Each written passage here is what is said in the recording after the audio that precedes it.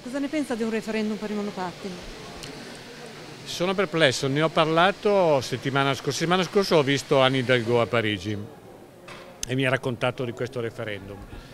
Eh, sono perplesso solo su una cosa, e cioè mi chiedo se votano l'8% dei cittadini, è meglio che a decidere se l'8% dei cittadini o l'amministrazione e il sindaco eh, e tendo a pensare che allora è un tema che dobbiamo affrontare noi.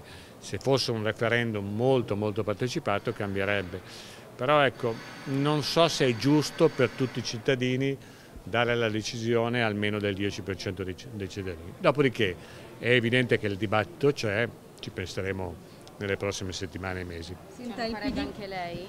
Farebbe anche lei a Milano? Un referendum? No, referendum no, ripeto, se, se non avessi contezza del fatto che poi vanno in tantissimi a votare no.